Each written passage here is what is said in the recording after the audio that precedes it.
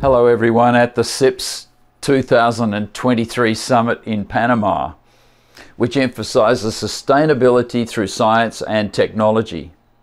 I'm Barry Marshall, Clinical Professor of Microbiology at the University of Western Australia in Perth. You might recall that Dr. Warren and I won the 2005 Nobel Prize in Medicine for the discovery of Helicobacter pylori. And maybe you also recall that a lot of that work was consolidated at the University of Virginia, where I was a research fellow in geographic medicine under the guidance of my lifelong friend and mentor, Dr. Richard Guerrant, who successfully chaired the Department of Geographic Medicine there, and who invited me to say a few words here today at SIPS 2023. So, Dick, thanks again, and I hope to meet you again soon, as we did recently in Virginia. You recall that one of the highlights of that visit was the university's History of Medicine library featuring the Dr. Walter Reed collection. Walter Reed's team proved that mosquitoes spread yellow fever, and thanks to his efforts, it was possible to build the Panama Canal more than a century ago. I get a lot of kudos from the story of my self experiment, drinking live Helicobacter. But of course, the yellow fever experiments were far more dramatic, and not everybody survived. So please have Dick arrange a visit to the Walter Reed exhibition if you ever visit him at UVA in Charlottesville, Virginia. Most certainly, Panama is a historic place to hold the SIPS 2023 conference, and it must be on everybody's bucket list, including mine, as a site of global importance for all our economies and as a site for creating sustainable new science and technology. So thank you for inviting me to give a short talk today on precision medicine for Helicobacter pylori. I wanted to talk about the development because I think there's so much data now in the literature that it's difficult for one person to be able to survey the whole field and much better if we just understand the basic principles, how we came to these conclusions, and then give you a little update on the things that we're interested in in this year. Just to acknowledge my good colleague, Dr. Robin Warren, and here we are together after winning the Nobel Prize in 2005 at the University of Western Australia. This next slide is going to show you the picture of Helicobacter pylori as they were first seen by Dr. Warren way back in 1979 and he stained them with a silver stain so the bacteria are black and you can see them very easily against the yellow tissues. Now the point I want to make to you here is that Helicobacter lives on the surface of the gastric mucosa. So it's very difficult for the immune system to eradicate Helicobacter, that's one issue. But on the other hand, the bacteria are very susceptible to any kind of drug or medication which the patient swallows. And I'm going to talk about bismuth in a minute. But just remind you that bismuth can reach concentrations of thousands of micrograms per mil and quickly eradicate 99% of Helicobacter. And I'll show you some data on that.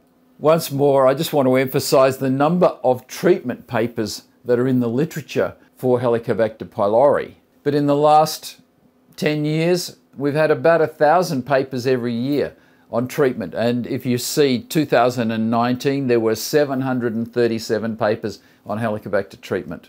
So let's get started. and I want you to think about Helicobacter pylori treatment this way. Firstly, antibiotic agents which can be reused. And these are primarily bismuth, amoxicillin, tetracycline, and possibly furazolidine. The point I want to make is that H. pylori hardly ever becomes resistant to these. So that means if the patient failed a treatment with amoxicillin, you could give amoxicillin again in a different combination. The organism would still be sensitive. Same with bismuth and tetracycline. Resistant Helicobacter pylori to these agents is so rare that we always think it's a, you know, a false result by uh, a laboratory error. Uh, people can argue about this, and maybe the genomic studies are going to give us more information. Now, let's talk about bismuth and metals. I just want to remind you that heavy metals have been used in the treatment of different infections, particularly spiral organisms, mucosal infections, for hundreds of years. And you'll see that in the table of the elements, the column under nitrogen and phosphorus goes nitrogen, phosphorus, arsenic, antimony, and bismuth. So all those heavy metals were very important for the treatment of infections before we had antibiotics, even going back more than 200 years. On the top there you see a picture of bismuth crystals or bismuth metal as, as it uh, appears normally. It's quite heavy. Uh, and mercury, arsenic and bismuth have been used to treat syphilis primarily. But any curved, spiral, mucosal, microaerophilic organism can probably be treated with these products. A little bit of note about mercury. It was one of the first treatments for syphilis. Uh, and it was somewhat toxic, and uh, mercurials used to be used as diuretics as well. So if you could avoid the toxicity, so experienced practitioners could give people mercury in a dose which was enough to suppress or eliminate syphilis, surprisingly. The next important one was arsenic, and Paul Ehrlich, who uh, won the Nobel Prize in 1908 for immunologic studies. But in fact, the other thing that he invented was arsphenamine, which he called the first magic bullet for syphilis. Uh, and here's his treatment kit. You'll see he's got some arsphenamine there uh, in the um, uh, glass vial. And at the top, you'll see a intravenous infusion set. So I suppose he was going to, uh, the glass bottle at the top there was filled up with water and then he pulverized the uh, in the little dish there and mixed it with the water and gave it to the patients.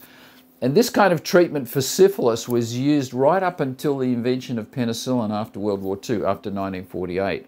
And apparently it was quite successful. Patients used to have the IV treatment and they would be unwell for about a week and then they would, would recover and go home and presumably were cured.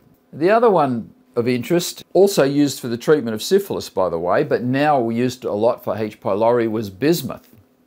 So bismuth was described in 1555 by this guy, Georgius Agricola, and he produced a book called De Metallica, in which he described purification and isolation of all kinds of metals, metallurgy. And uh, unfortunately, his famous book was published one year after his death, so he died after about 60 years of age. but here you see in this diagram on the right hand side various uh, illustrations uh, showed the preparation of uh, bismuth. And at the bottom you'll see some kind of brick kiln uh, which was used to burn charcoal and after it was nice and hot they would then throw in the bismuth rocks which is there under number C and then uh, they would put more fire on top of it and presumably that removed uh, all the oxides and left the bismuth metal which flowed out in the bottom. And at the top right hand side you can see kind of trenches, uh, long things there with fire on them and the bismuth used to run out the bottom. And eventually uh, in this diagram where you see B, uh, you see these um, pellets of bismuth which were uh, the final product and that was used then to make various bismuth compounds. Now he didn't talk too much about bismuth treatment it wasn't for another 100 years that we started to see bismuth treatment in the literature. Now in the acid stomach, bismuth is changed to bismuth oxychloride, which is an insoluble compound, but it mixes or even chelates with proteins in the gastric mucus layer.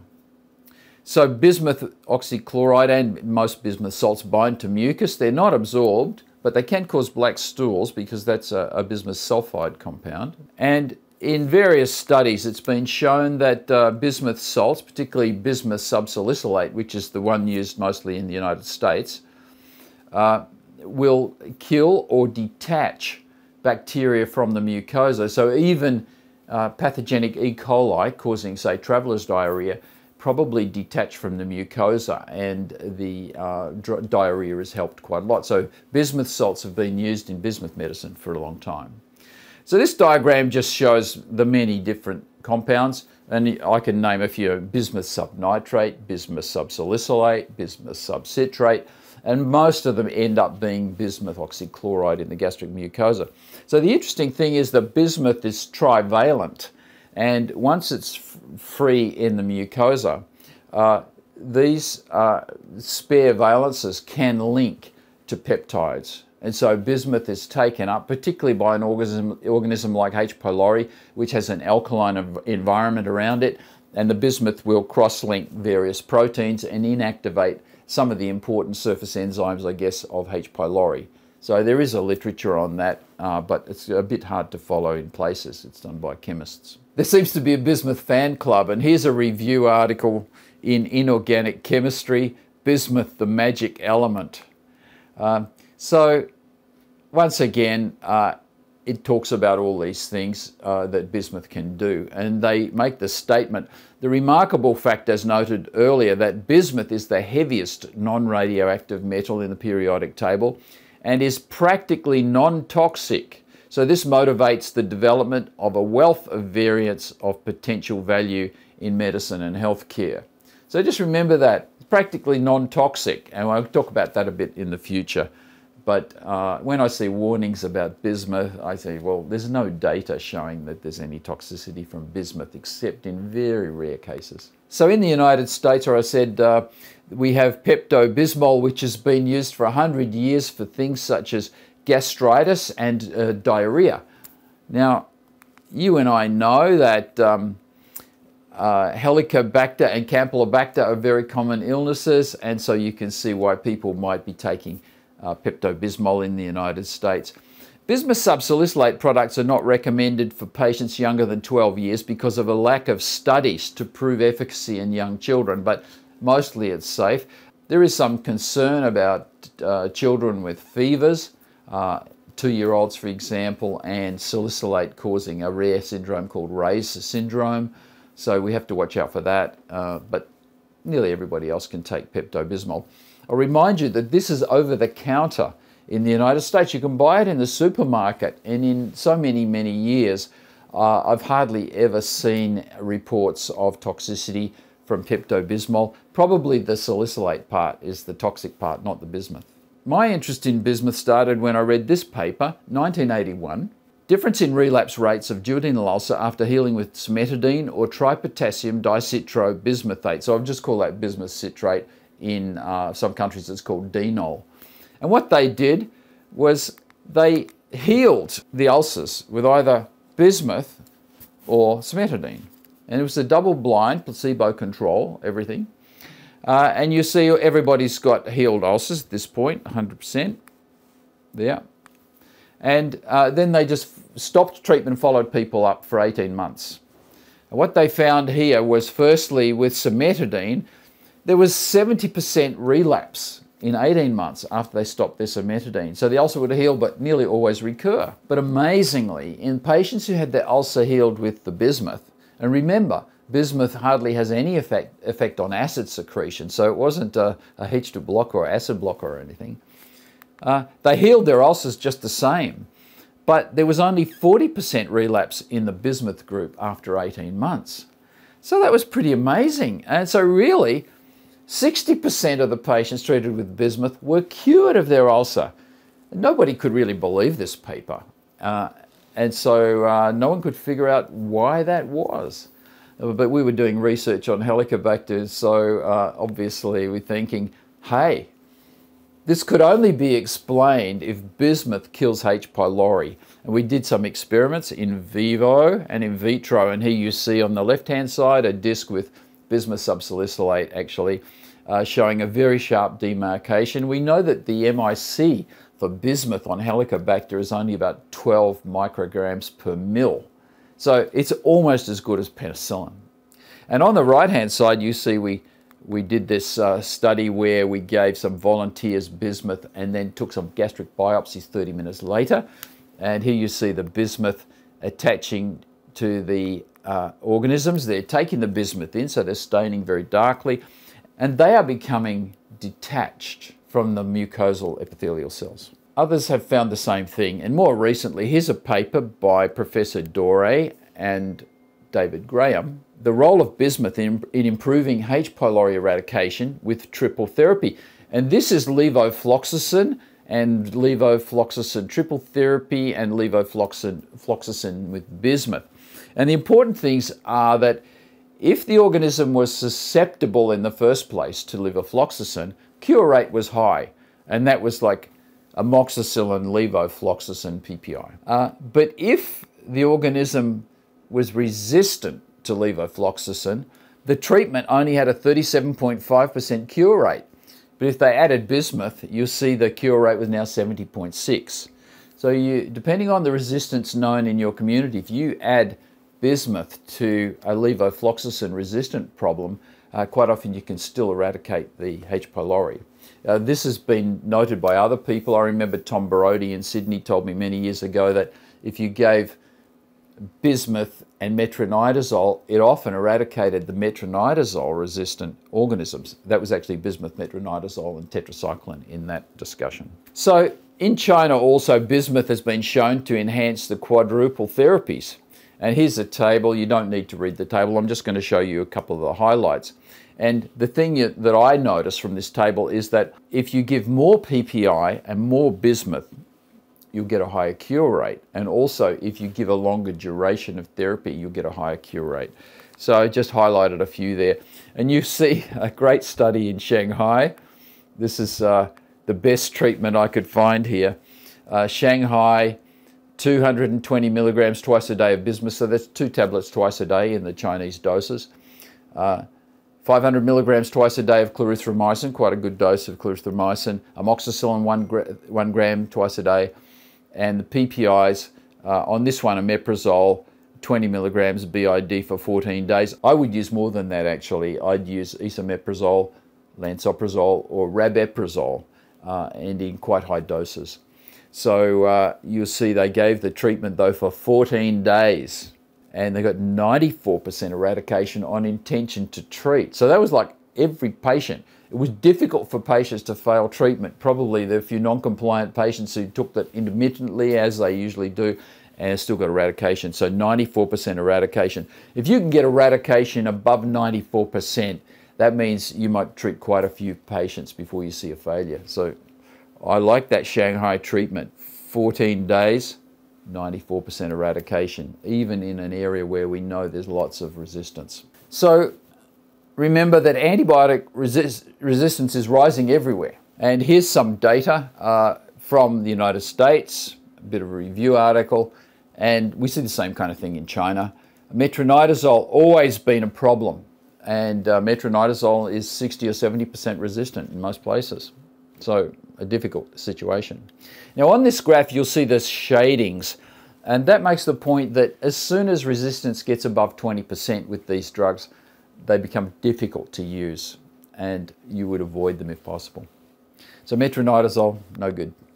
Clarithromycin, it used to be very beautiful, but now uh, we're seeing resistance above 20% in quite a few places. So that means your cure rate's going to get down towards 70 or 80%.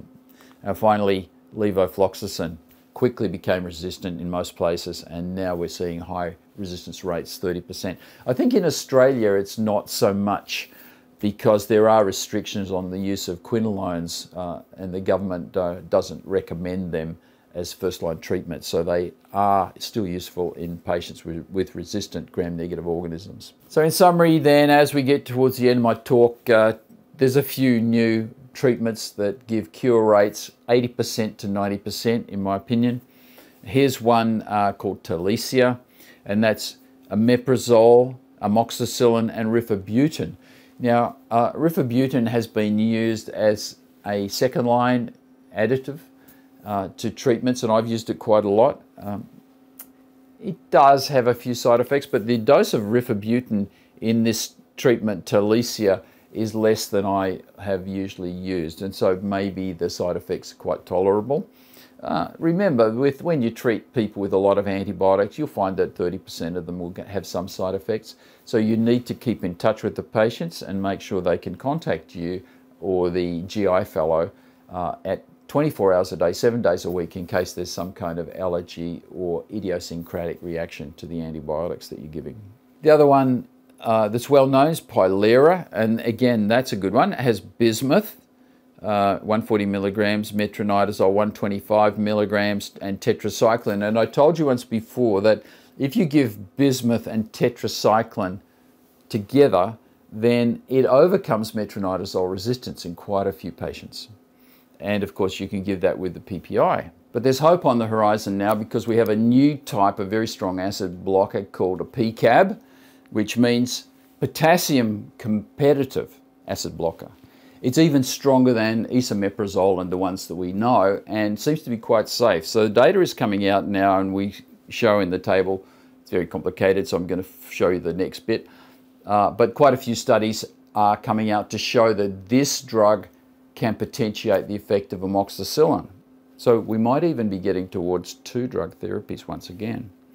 So if I show you some detail on that, which I like, you'll see that this is a study where they're using vonoprazan, which is that PCAB, amoxicillin and clarithromycin, 400 milligrams twice a day of the clarithromycin. And here you see the cure rate is 87.3% in a sensitive organism. And in a resistant organism, this combination now reaches 82.9%. So the suggestion is that if you could have this combination, uh, the H. pylori would be sensitive once again. I'm not sure whether this was initial treatments or subsequent treatments, but it does tell us that if you have very strong acid blockade, then these compounds such as amoxicillin work much better and may overcome some of the resistance. So I think we're going to see more data on these drugs in the future and you may see other PCABs uh, which will be released in the next year or two. There's one other take-home message that I will give you and you can tell your patients this. The only cure for Helicobacter is precision antibiotic therapy. Natural therapies in every country ineffective. TCM is ineffective. Probiotics ineffective. Garlic, mastic gum, manuka honey, it's a waste of money. And single antibiotics are ineffective, but we might have to change that last line sometime in the future. Gracias.